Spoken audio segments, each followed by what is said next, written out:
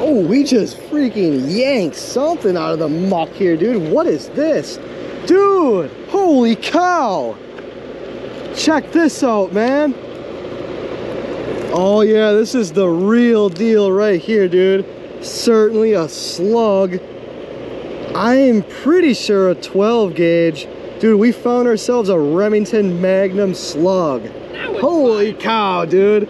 I am hot today. Check this out. We got me old slug. Oh, it says it right on yeah, there too. for sure. Yeah, Slugger. look at that guy. Makes me nervous looking at it. Right? Right at that thing.